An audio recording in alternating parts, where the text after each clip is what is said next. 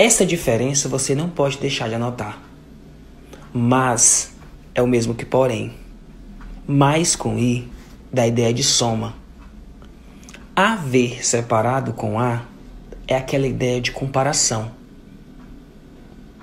Já haver com H é o mesmo que ter. A gente junto é uma profissão, tipo FBI. A gente separado é nós.